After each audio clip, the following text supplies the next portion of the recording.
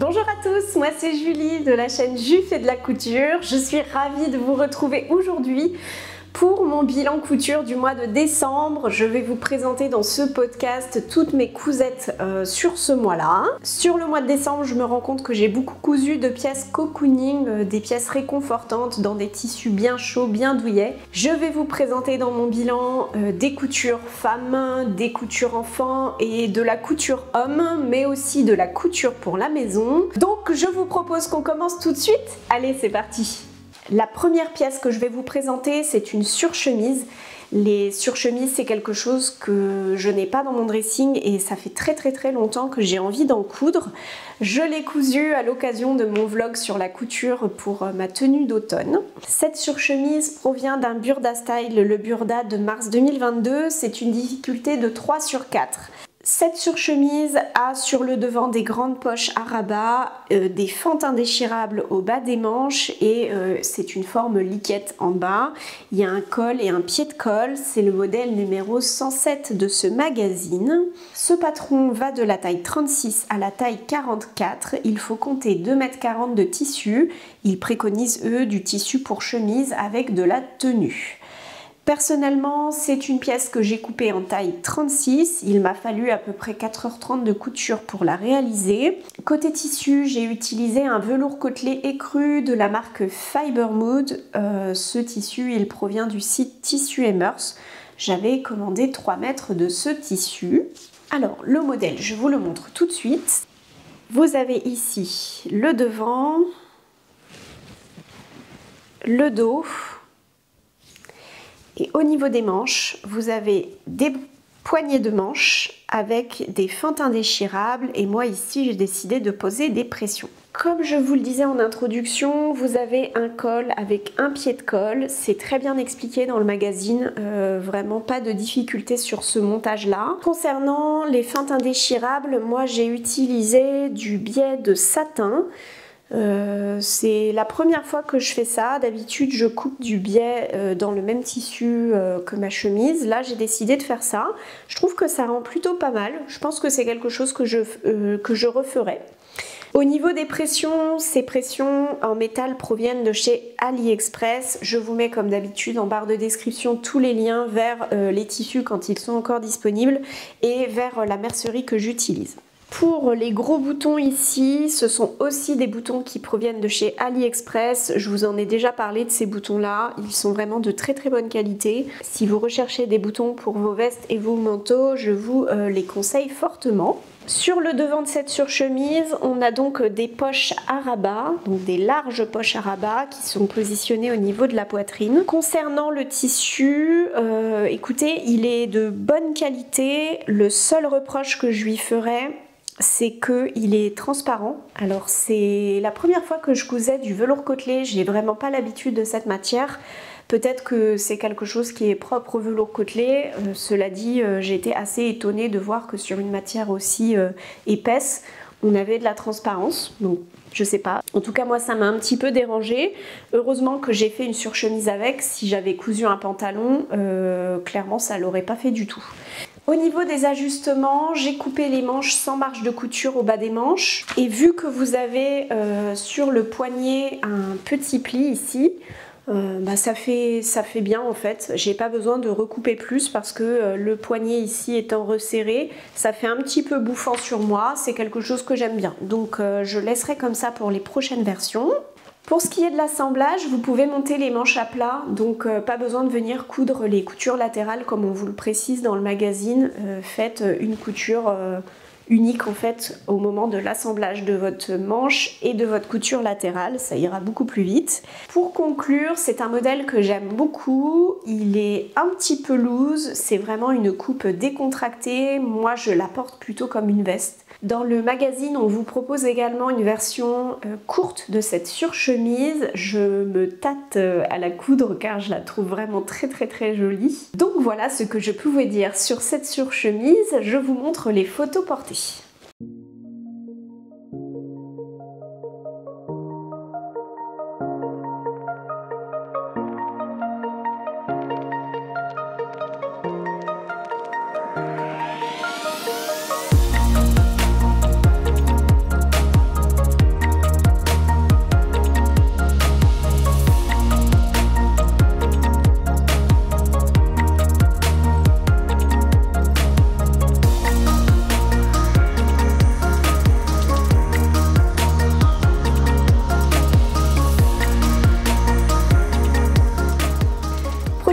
Que je vous présente, c'est un legging, un legging que je me suis cousu. Alors ce legging, vous le connaissez, je vous l'ai présenté un nombre de fois incalculable. C'est le fameux legging du euh, Burda Cocooning 98H, n'est-ce pas? Et cette pièce, je l'ai cousue cette fois-ci dans un scuba suédine de chez Drissenstoffen. C'est une matière que je connais très bien. J'ai cousu plusieurs, euh, plusieurs projets euh, dans ce tissu. Et je voulais un pantalon slim legging pour aller avec ma surchemise. Ça me semblait être une bonne idée sur le papier d'utiliser ce tissu-là. Il s'est avéré que pas vraiment. Alors je vous montre ma pièce quand même. Donc voici mon pantalon. Donc vous avez le devant et le dos. Pourquoi est-ce que ce n'était pas tout à fait une bonne idée? Eh bien tout simplement parce que je n'ai pas d'élasticité nécessaire pour vraiment le porter comme je souhaiterais le porter. Dans ma tête, euh, je pensais que j'allais avoir euh, bah, voilà, de la place. J'ai eu quand même un petit doute, j'ai rajouté euh, un petit peu plus de marge de couture que ce que je fais d'habitude. J'aurais clairement pu en rajouter le double. Alors si comme moi vous pensez que ça pourrait être une bonne idée de couper un legging dans un scuba suédine, bah, je vous le déconseille. Partez plutôt sur un pantalon euh, slim, ça rendra mieux, je pense. Alors, mes grossesses, moi, je les ai fait clairement dans les mollets et les bras. Euh, faut pas chercher à comprendre. Peut-être que c'est lié quand même à ma morphologie. Si vous êtes fine et que, euh, comme moi vous n'avez pas de problème avec la taille de vos mollets, peut-être que ça le fera. Bon, mais cela étant dit, si comme moi vous avez le mollet un petit peu généreux, je vous conseille de partir sur un jean slim, voilà, un pantalon slim, ça fera euh, mieux et vos mollets vous remercieront. Donc euh, clairement, quand je le mets, mes mollets euh, sont en PLS, ils sont trop serrés dedans. Alors l'autre souci que j'ai rencontré lors de ma couture de, ce legging, bon si vous avez vu mon vlog vous savez que ça a été compliqué. D'ailleurs pour la petite histoire je me souvenais pas que l'appareil était en train de filmer. Vraiment quand j'ai vu le rush, j'ai trouvé ça tellement drôle, je me suis dit, oh, allez, c'est bon, hein, c'est la vraie vie. Hein. Moi, je suis pas là pour faire des vlogs, pour me la raconter. Euh, donc, je me suis dit, allez, je vous montre. Donc, je partage tout avec vous. Hein. Mes meilleurs moments comme les pires. Et là, on était dans le pire. Parce que je, ce legging, je le couds beaucoup. C'est quelque chose que je couds énormément, même pour ma fille. Euh, je fais ça les doigts dans le nez. Et là, euh, grippe faisant, bon, bah, du coup, je cherchais des coutures d'épaule sur mon schéma de montage. Mais oui, je, je m'étais trompée de page. Bref, donc au final, ce legging, quand je l'ai essayé, j'avais pas assez d'élasticité et en plus il m'arrivait pas assez haut, ce qui est normal puisque vu que je manque aussi d'élasticité dans la hauteur, bah forcément il m'arrivait moins haut que d'habitude. Donc j'ai rajouté une ceinture rapportée. C'est pas du tout le look que je voulais à la base mais c'est très confortable au final au niveau de la ceinture. Alors c'est une ceinture qui provient de chez AliExpress. Si vous cherchez des ceintures en élastique qui ne gratte pas, je vous recommande vraiment ce modèle-là. Il est très bien. Au niveau du bas du legging, j'ai laissé accru car il était hors de question de perdre de l'élasticité au niveau du bas de jambe. C'était vital. Donc euh, j'ai absolument pas fait d'ourlet et puis vous savez le scuba suédine ça s'y prête vraiment bien. Hein. Vous pouvez vraiment laisser les bords accrus, ça ne roule pas, ça bouge pas. Il y a certaines pièces du commerce, notamment des perfectos que j'ai déjà acheté dans cette matière là et ils s'embêtent pas. Hein. Ils laissent les bords accrus, euh, ça fait un petit style, euh, voilà. Donc ça c'est pour mon bas de jambe. Qu'est-ce que je peux vous dire d'autre? Est-ce que cette pièce est un ratage? Je pense pas, parce que je vais la mettre quand même. Euh, j'arrive quand même à rentrer dedans. Je suis pas des plus conforts dedans, mais ça passe. Concernant euh, les photos portées du legging, vous les avez vues passer en principe dans les photos de la surchemise. Donc je vais tout de suite m'attaquer à la pièce suivante de ma tenue. Pour compléter mon look de l'automne, j'avais absolument besoin de soupules, des soupules à col roulé. Alors je me suis empressée d'en coudre un. C'est un pull à col roulé qui provient d'un Burda Style. C'est le Burda de août 2022. Euh, oui, chez Burda, en août, on coud des cols euh, roulés.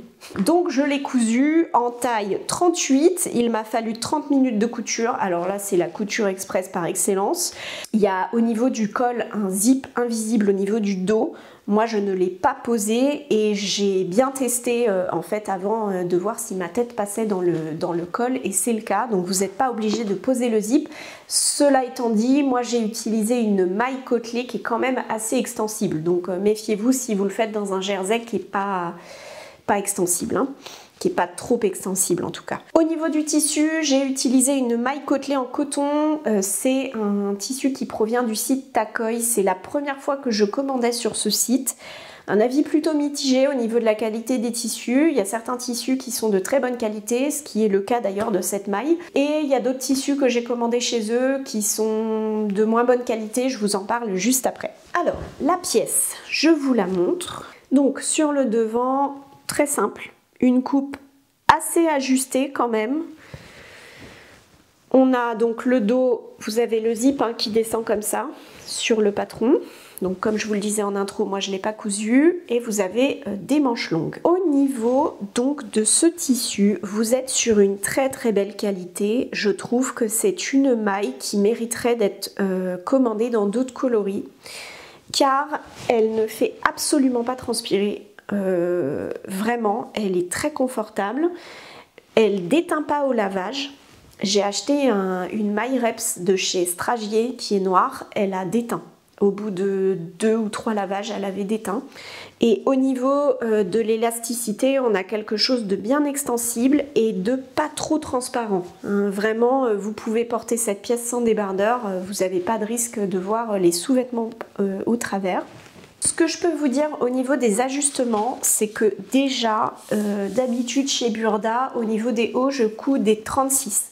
Là, j'ai pris un 38 car je me suis euh, rendu compte sur le patron qu'il était assez ajusté. Et j'ai bien fait de faire ça. J'ai retiré 8 cm au bas du pull. Je voulais pas qu'il euh, m'arrive trop bas, car sur le patron, c'est un sous-pull qui arrive vraiment bas. Hein. Il arrive en dessous des fesses. Bon, après, moi, je suis petite. Donc, Prenez cette info avec euh, des pincettes. Dans ces 8 cm de retrait, il faut compter 2 cm pour mon rentrée pour faire la finition du bas euh, du pull. Et au niveau des manches, j'ai coupé au niveau du patron. Concernant la méthode de montage, donc comme je vous le disais, le zip n'est pas nécessaire si vous avez un tissu suffisamment extensible. Et le fit, il est parfait. Je n'ai pas eu besoin de retoucher les coutures latérales. J'avais de la place au niveau de la poitrine. Enfin, Vraiment, je, trouve que la coupe de ce soupule, elle est super. Et si comme moi, vous utilisez la maille côtelée de chez Takoy, euh, bah, vous verrez, ça va tomber nickel. Donc voilà pour mon petit soupule, je vous montre tout de suite ce qu'il donne avec les photos portées.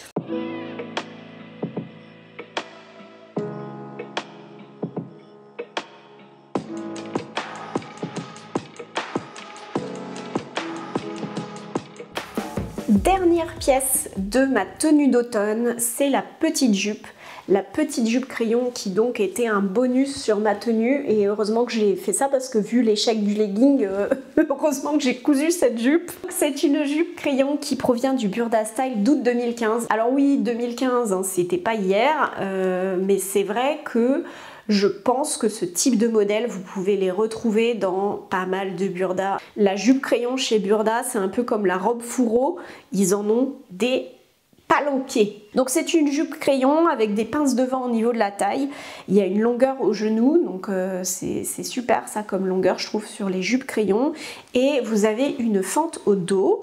C'est un modèle qui va de la taille 36 à la taille 44. Il faut compter 85 cm de tissu, donc un tissu pour jupe avec ou sans élastane. Personnellement, j'ai utilisé une bengaline stretch de chez euh, Drissenstoffen. C'est un tissu que je ne connais pas bien. Euh, l'extensibilité de ce tissu se trouve dans la hauteur et non dans la largeur.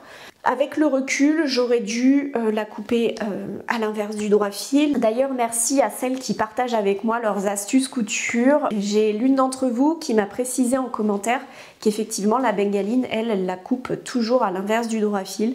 pour avoir le côté stretch. Donc euh, c'est quelque chose que je testerai.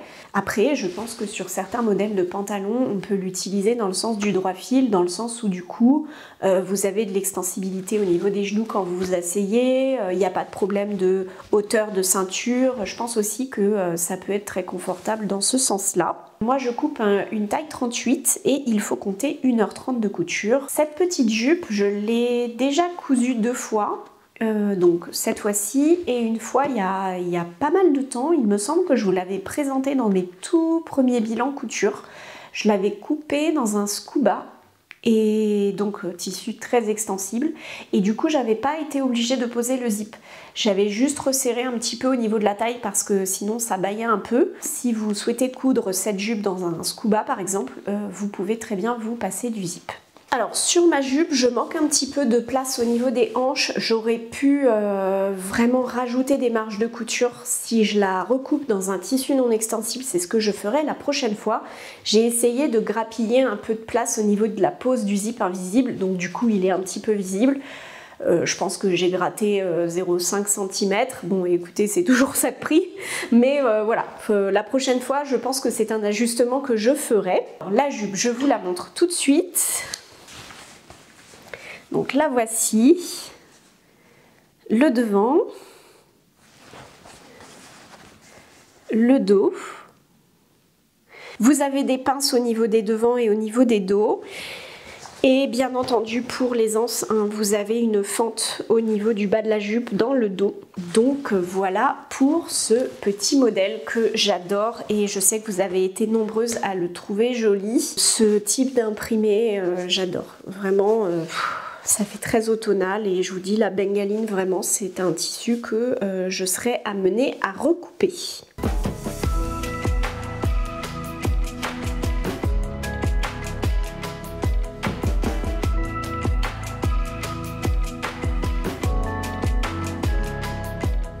Les projets que je vais vous montrer maintenant, ce sont des euh, coutures que j'ai réalisées pour ma table de Noël. Je vous ai fait des vlogs concernant toute cette petite aventure. Ce sont des vlogs un petit peu plus intimes où je vous partage des petits moments de vie euh, tout en restant dans de la pudeur parce que le but, enfin moi je suis pas là pour étaler ma vie. C'est plus pour euh, vous faire passer des petits moments immersifs sur des périodes de l'année qui me tiennent à cœur et les fêtes de fin d'année en font partie. Donc pour agrémenter un petit peu ma déco de Noël, j'avais envie de faire des pièces pour euh, la table. Donc j'ai coupé et cousu des serviettes de table, j'ai cousu un chemin de table, j'ai également cousu des protèges couverts, puis euh, des petits pochons à friandises.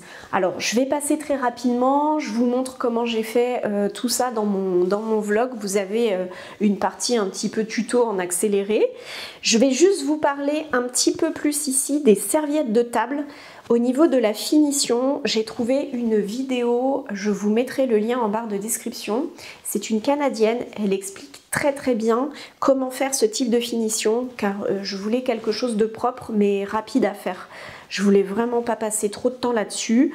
Euh, donc pour les coins, elle vous montre deux techniques dont celle que j'ai utilisée ici qui permet de faire de jolis coins mais sans perdre trop de temps. Comme pour le chemin de table, on est sur une toile de coton que j'ai trouvée au quartier des tissus.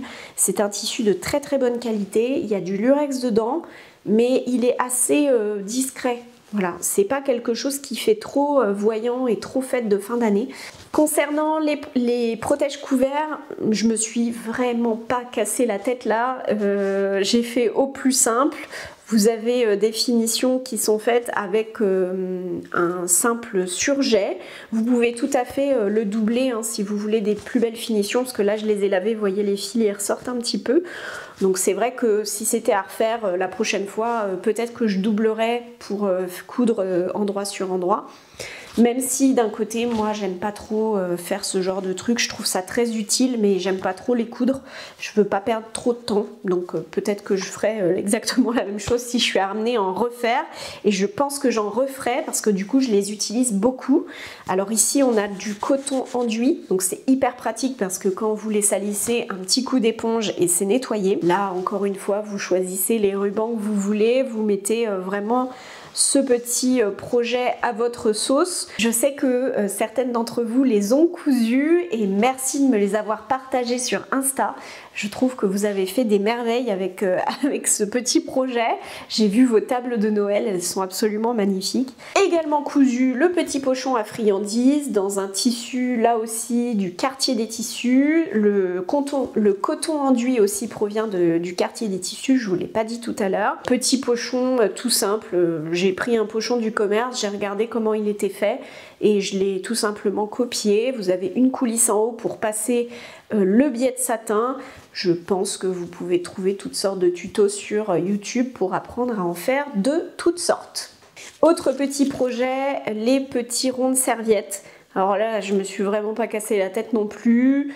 J'ai agrémenté ça euh, d'une petite perle, donc chaque personne a une perle différente. Et comme ça, chacun se met où il veut et peut retrouver euh, tout au long du séjour sa petite serviette dédiée.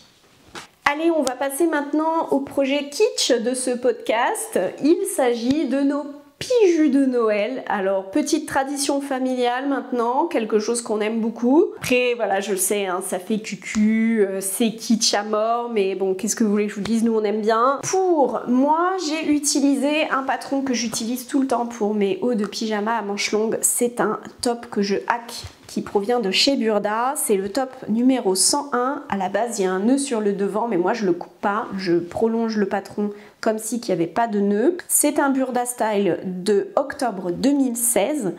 Moi, je coupe un 36. Il faut compter entre 1m10 et 1m20 de tissu. Alors, le projet, je vous le montre. Vous avez le devant et le dos avec les manches longues.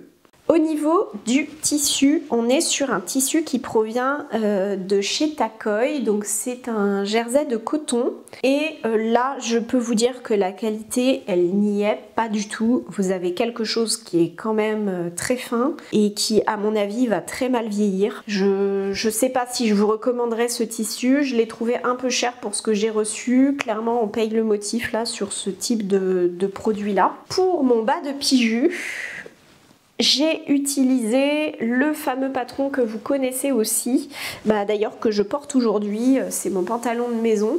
C'est un patron euh, dans lequel je fais tous mes pyjamas pour l'hiver et l'automne. Euh, j'aime beaucoup ce patron. Vous avez des poches italiennes, vous avez une ceinture que moi là j'ai mis en rapporté, mais sinon c'est une ceinture qu'on vous fait couper dans le tissu.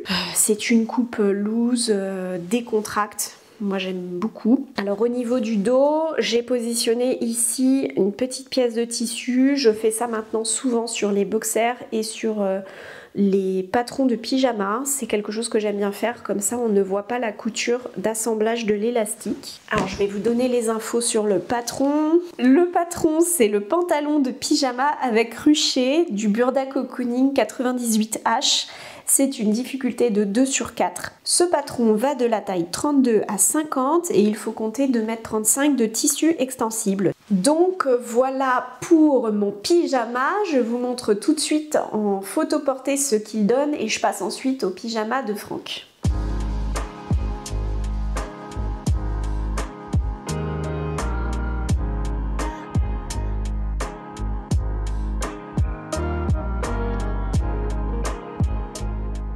Le modèle pour Franck, vous avez ici le devant, donc avec une petite poche plaquée, le dos et les manches longues aussi. Ce sont des manches raglants sur lesquelles vous avez une pince en haut de la manche. Le patron que j'ai utilisé, c'est le haut de pyjama Brad de la Maison Victor. Pareil, euh, tous les hauts de pyjama de Franck en manches longues sont faits sur ce patron-là. Donc euh, vous le connaissez. C'est dans le magazine La Maison Victor de janvier-février 2019. Nous, on coupe un taille L et il est très bien coupé pour un taille L. Vous avez une coupe qui est quand même assez ample, il y a de la place. Au niveau des tissus, on a donc euh, le fameux tissu euh, norvégien. Et ici, je vous l'ai pas dit, mais c'est le même que pour mon bas de pyjama. C'est un tissu uni, donc un jersey de coton uni qui provient de chez Takoy aussi. Et là, par contre, on a une qualité qui est qui est franchement pas trop mal. Il est beaucoup plus fluide que les jerseys de coton de chez Drissenstoffen. Euh, on est un petit peu sur la même chose que Glitter Puppy, si vous connaissez un petit peu les jerseys, de chez eux. pardon. Pour son bas de pyjama, c'est euh, le jogging de chez Burda que je vous ai présenté il n'y a pas si longtemps que ça, il me semble. Au niveau de l'élastique, on est sur un élastique de chez AliExpress. C'est le cas également sur le modèle euh, que je me suis cousu. Le patron, c'est le pantalon de jogging homme du Burda Style de euh, décembre 2021. C'est une difficulté de 3 sur 4 parce qu'en fait vous avez des poches passe-poilées sur le devant. Moi je ne les ai pas coupées ici. C'est donc un pantalon pour homme avec une taille élastiquée et c'est une coupe décontractée avec une allure chic. Ce patron, il va de la taille 46 à 56 et il faut compter 2,30 m de tissu. Moi, personnellement, je coupe une taille 50 et euh, il est parfait. Je vous montre tout de suite ce que ça donne sur lui et on passe après au modèle des enfants.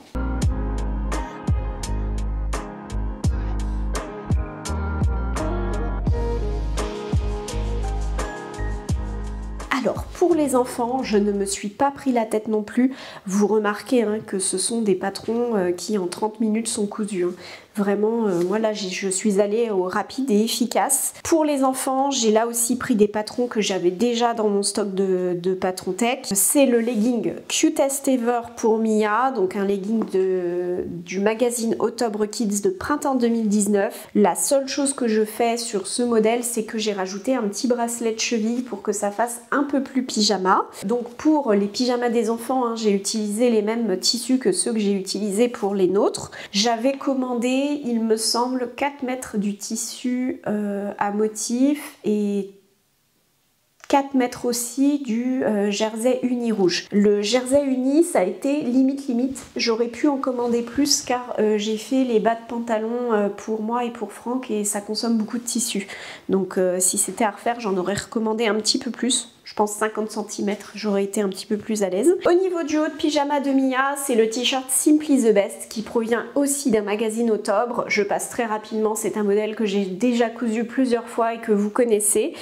Euh, c'est un modèle très très simple, donc avec des manches longues, euh, voilà, un t-shirt très basique. Ce t-shirt, je le coupe en taille 116 pour Mia et il est... Euh, pas trop ajusté, mais en même temps ma petite puce elle est assez fine, donc, donc voilà. En ce qui concerne le pyjama de Liam, on est sur le pantalon Gridix, le fameux, euh, donc de chez Octobre, hein, toujours, pour le bas de pyjama. Et pour le t-shirt, on est sur le même t-shirt que sa sœur au niveau du haut, donc, euh, voilà. Allez, je vous montre les petites photos portées de toute cette petite brochette de pyjama kitsch. Et puis, on passe après au euh, projet du coupon du mois.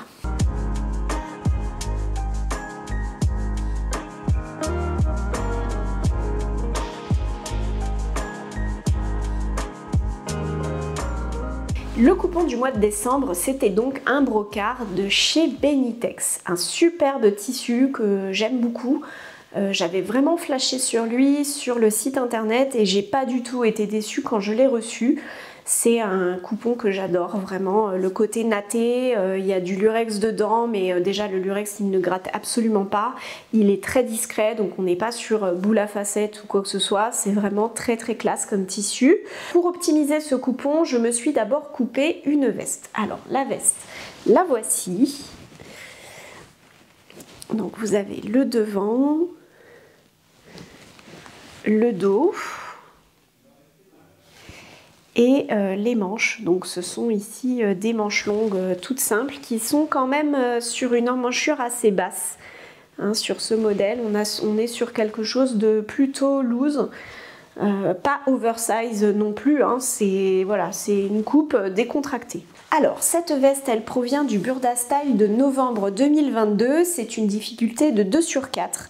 C'est un modèle qui est proposé en taille courte, donc c'est pour les statures d'un mètre soixante qui est parfait pour moi. Donc j'ai coupé une taille 18, ça correspond à un 36. Et cette veste, elle va du 34 au 42, mais en taille courte. Hein. Il faut compter 1m80 pour le tissu extérieur et 1m20 pour la doublure. Moi, il m'a fallu à peu près 4 heures euh, de couture. C'est une veste qui est relativement simple. Il n'y a vraiment pas de difficulté technique. Si vous avez l'habitude de monter des choses avec des doublures, euh, c'est vraiment la plus grosse difficulté technique de ce patron, sinon euh, c'est très très bien expliqué dans le magazine. Au niveau des ajustements, je n'en ai fait aucun et si je devais changer quelque chose, c'est euh, peut-être retirer 1 ou 2 cm au niveau des manches car sur moi elles tombent un petit peu. Alors je pourrais, je pense, fixer ça en fixant les ourlets car je vois du coup qu'on a un ourlet de 4 cm en principe et euh, là j'ai beaucoup moins. Au niveau euh, des devants, c'est donc une parmenture qui est coupée à même, donc vous n'avez pas de découpe de parmenture devant à faire. Et ça, j'ai trouvé ça vraiment génial. Vous avez des petites pressions pour venir maintenir la veste fermée et plaquée contre vous, donc pression invisible. Et vous pouvez positionner deux boutons alors les boutons et les pressions proviennent de chez AliExpress. Au niveau de la doublure, alors moi j'ai fait le choix un petit peu audacieux, j'étais pas certaine de ce que ça allait donner pour tout vous dire. Donc le choix de cette fausse fourrure, donc c'est un minky rayé qui provient du quartier des tissus. Il est d'une très très bonne qualité et je peux vous dire qu'il est très très doux et cette veste du coup elle est cocooning. J'ai l'impression d'être dans un plaid quand je la porte tellement elle est confortable. J'ai hésité au niveau des manches à mettre un autre tissu qui glisse. Euh, et finalement, j'ai vraiment opté pour le confort et j'ai bien fait car du coup, le tissu étant en polyester, bah, ça glisse quand même quand j'ai euh, des, choses à manches longues en dessous. Donc j'ai bien fait de doubler les manches pour que ce soit vraiment euh, le plus douillet possible. Il faut donc savoir que euh, l'ampleur prévue sur cette veste euh, vous permet de venir mettre une doublure en fausse fourrure ou en tout cas quelque chose de assez épais. Vous ne serez pas du tout gêné. C'est une veste que j'adore. Je, l'adore. Il n'y a, y a, pas, d'autre mot. Je trouve qu'elle peut faire chic et décontractée. Je la porte soit avec des jeans, soit avec des jupes crayons. Donc je vous montre tout de suite ce que euh, cette petite veste donne avec les photos portées.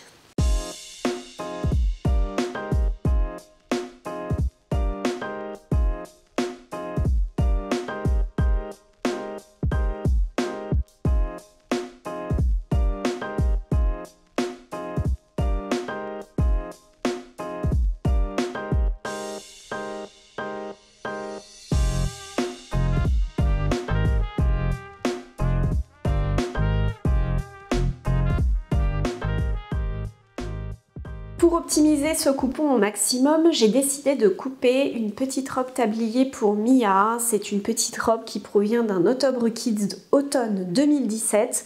C'est le modèle numéro 10 euh, qui s'appelle Retro Folk. Alors, c'est une robe tablier euh, sur laquelle vous avez des poches devant euh, plaquées que moi je n'ai pas posées et vous avez une version qui est déclinée avec des petites oreilles de lapin que je trouve vraiment trop mignonne.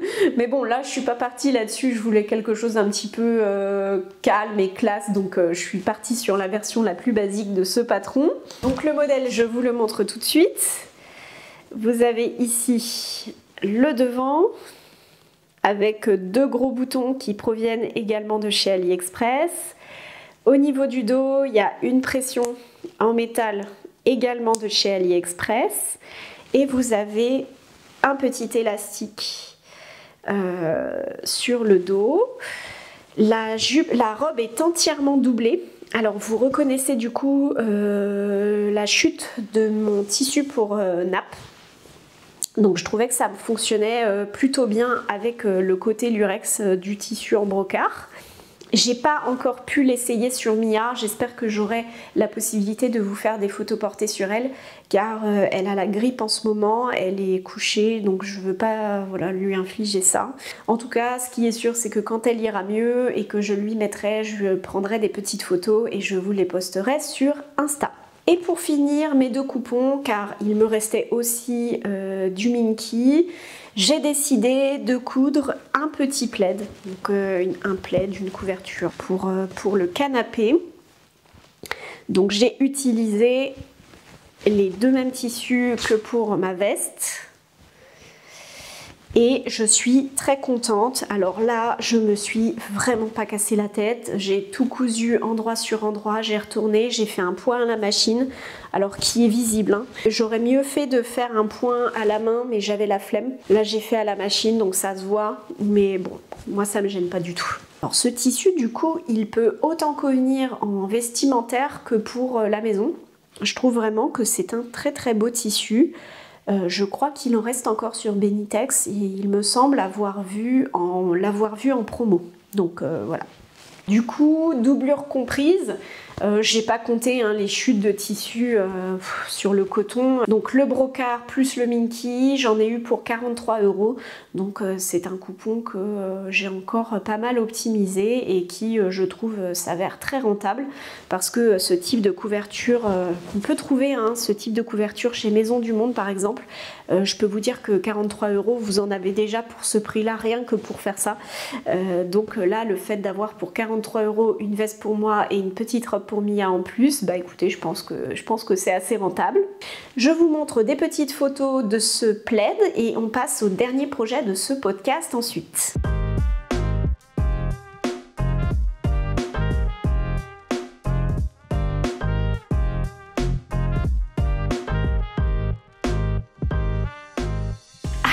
Dernier projet, c'est donc le tapis de jeu pour les enfants. Alors là, j'ai pas eu le courage d'aller le rechercher parce qu'il y a tout leur Lego dessus. Donc je vais vous mettre les photos et euh, les illustrations euh, du projet pendant que je vous parle. C'est un patron maison, hein. là aussi, je me suis pas cassé la tête. Le tissu, euh, il provient du quartier des tissus. C'est un simili cuir qui, sur l'envers, est une fausse fourrure parce que du coup, il est réversible, hein, le tissu. J'ai utilisé de la sangle en coton. Alors c'est de la sangle qui à la base est prévue pour faire euh, tout ce qui est sac à main, sac de sport, euh, tote bag. C'est une sangle que moi perso j'achète sur AliExpress. C'est euh, un grand métrage qui est proposé et c'est assez pratique. C'est une sangle qui est assez rigide et que je trouvais tout à fait appropriée vis-à-vis de, bah, de la qualité de ce tissu-là, qui est quand même assez épais. Mais j'ai fait des finitions très très simples. J'ai replié le biais, je me suis arrêtée 0,5 cm en fait avant la fin euh, de ma couture et j'ai euh, plié le coin de manière à former un, un, coin le plus joli possible et ensuite j'ai fini ma couture en repassant le tout sous la machine à coudre et euh, je trouve que le résultat est vraiment sympa. Alors le côté simili cuir c'est pratique parce que là aussi vous pouvez passer un petit coup d'éponge quand euh, il est sali. Et puis sur euh, le parquet ça ne glisse pas du tout. Euh, moi je mets le simili côté parquet et donc le côté fourrure sur le dessus. Ça tient bien chaud, euh, ça isole pas mal du sol. Donc là aussi hein, un projet rapide euh, qui demande pas beaucoup de temps, qui est très facile et je peux que vous conseiller de faire ça pour, pour chez vous. Donc voilà, c'était pour tous les projets cousus sur ce mois de décembre.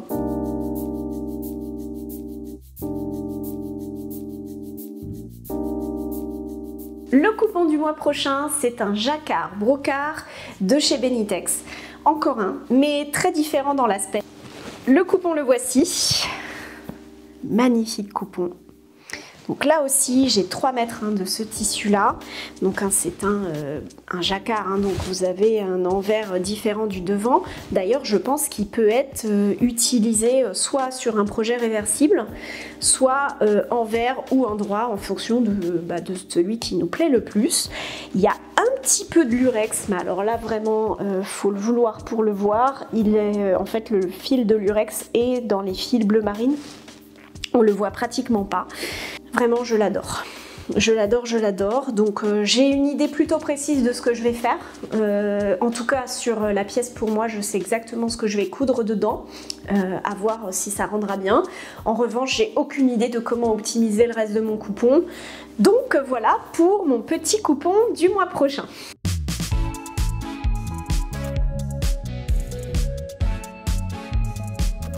Au niveau de mes achats, donc en tissu, j'ai rien acheté hein, parce que euh, j'avais acheté pas mal de tissus. En revanche, j'ai euh, Céline, coucou Céline, si tu passes par ici, euh, qui m'a contacté sur Instagram. D'ailleurs, je tenais à vous remercier hein, pour toutes celles qui me contactent sur Insta ou même sur YouTube. Enfin, ça me fait vraiment plaisir, donc n'hésitez pas à le faire. Et Céline m'a informé que en ce moment sur, sur Stoffen, il y avait des tissus pour manteaux à des prix vraiment pas chers. Du coup, je suis allée faire un petit tour et euh, oh my god, il y a vraiment des super coupons. Alors, je sais que c'est la fin de la saison, mais je me dis peut-être anticiper sur l'année prochaine. Euh, vous avez des tissus euh, pour manteau à 6,99€ je crois le mètre. Donc je pense que je vais passer une petite commande. Je vous passe l'information si vous aviez euh, raté euh, bah, ce, type de produit sur Drissen. En tout cas, moi ce que j'ai acheté cette fois-ci, euh, c'est pas lié à de la mercerie, c'est pas lié directement à de la couture, mais ça l'est indirectement, donc je vais vous montrer. J'ai voulu tester sur AliExpress des ceintures. Donc c'est des ceintures très très simples. En fait, vous avez un élastique avec un petit crochet. Alors là, c'est travaillé avec des perles. C'est un élastique en caoutchouc, euh, tout ce qu'il y a de plus simple. Et pourquoi je vous dis que c'est indirectement lié à la couture, c'est que parfois sur certains modèles, euh, quand je réalise par exemple des blouses fluides et amples, parfois j'aime les porter comme ça, mais j'aime aussi les ceinturer et c'est vrai que je manque de ceinture. Donc je voulais tester et euh, je peux vous dire que ce modèle-là, il a l'air de très bonne qualité.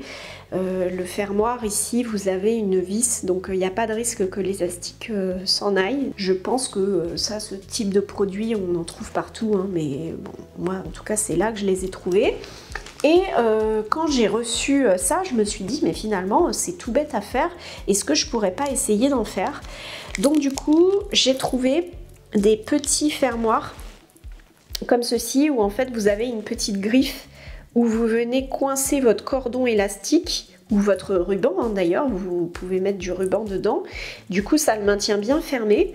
Et vous avez de l'autre côté un petit fermoir comme ceci. Tac. Pour le maintenir fermé.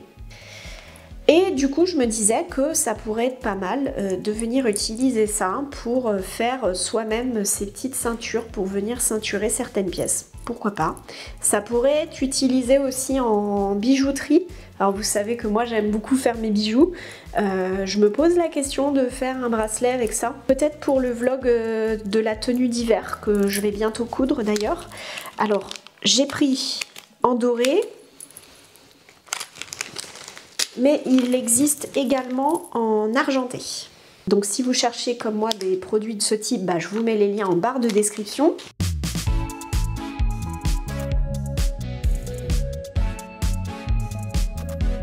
Concernant les prochaines vidéos sur ma chaîne, il y a la fameuse vidéo avec les tissus, euh, fourrures, etc. J'ai encore 2-3 projets à coudre avant de vous sortir la vidéo. Euh, ça prend un petit peu plus de temps, euh, j'ai été pas mal occupée donc euh, c'est vrai que j'avais l'intention de la sortir avant la fin d'année mais j'ai pas pu. Donc, donc voilà mais vous inquiétez pas elle va arriver parce que je sais que du coup vous l'attendez. En revanche une vidéo que je vais sortir là très rapidement c'est une vidéo dans laquelle je vous partage en fait mon journal de couture. Donc moi vous savez j'essaye de m'organiser au mieux. C'est comme ça que j'arrive à coudre le plus de vêtements possible. C'est en m'organisant en fait. Ça passe beaucoup par là.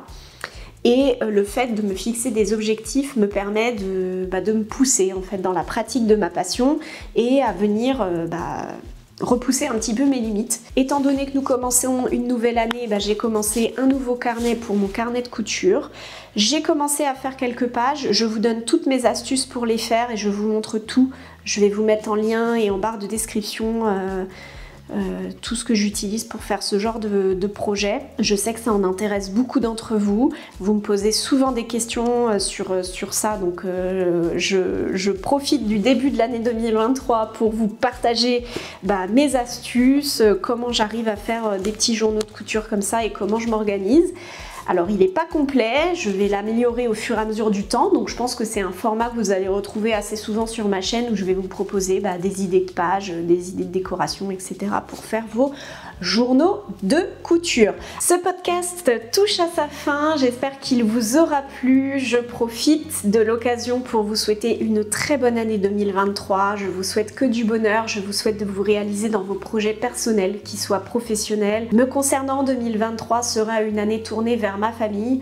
Euh, on a eu des choix à faire. Alors euh, je vous rassure, il n'y a rien de, grave, mais j'ai pas envie de m'étaler sur ma vie privée euh, ici, mais il a fallu faire des choix. Donc moi, le travail pour moi sera en stand-by sur 2023. C'est pas grave, il y a un temps pour tout. Il faut savoir prendre le côté positif des choses quand, quand elles se présentent aussi. Le côté positif de ce choix-là, c'est que j'espère être beaucoup plus présente sur YouTube. J'espère que j'aurai du temps toujours pour ma passion qui est la couture plus toutes mes autres lubies que vous pouvez entrevoir dans mes vlogs maintenant. Euh, donc, voilà. Euh, écoutez, c'est comme ça. Euh, dans la vie, il y a un temps pour tout. Et là, c'est un temps pour mes enfants. Ceci étant dit, je vais vous souhaiter une très très bonne fin de journée. Je vous embrasse très fort et je vous dis à très vite.